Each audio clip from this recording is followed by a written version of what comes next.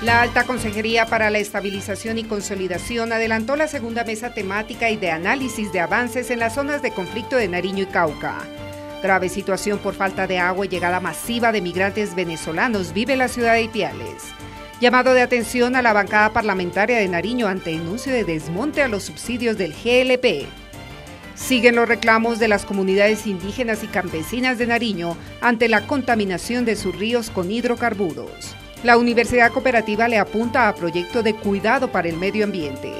Los colombianos seguimos pagando obras inauguradas y que no están en funcionamiento como el túnel de la línea.